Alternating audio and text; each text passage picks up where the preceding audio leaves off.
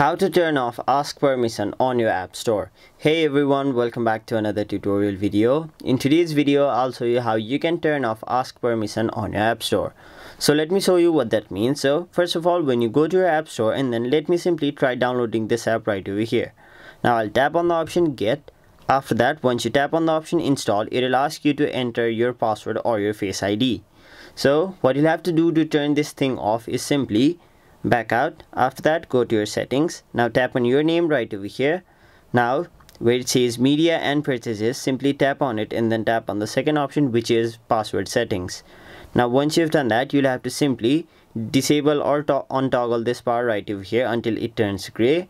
Now once you've done that simply tap on the done option right over here. Now back out. After that scroll down and then go to face id and passcode. Now enter the password of your device and then simply untoggle this bar which says iTunes and App Store. Simply untoggle this bar. Now once you've done that, if it asks you for your Apple ID passcode, simply enter it over here. But if it doesn't, simply back out. Let's close our App Store and then relaunch it.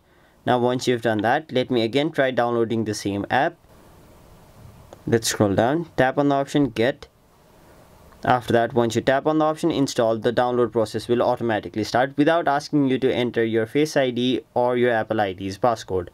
So that is basically how you turn off ask permissions on your app store. That is it for this video. Hope this video was helpful to you guys and if it was, make sure you like this video and subscribe to our channel so that you don't miss out on further videos such as these.